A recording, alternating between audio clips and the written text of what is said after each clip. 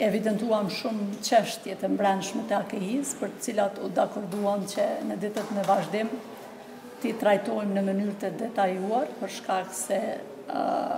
në raportet të cilat prezantohen zakonisht kemi të bajmë me shifra teknike, Dhe jo shpesh herë lshohemi në detaje, por si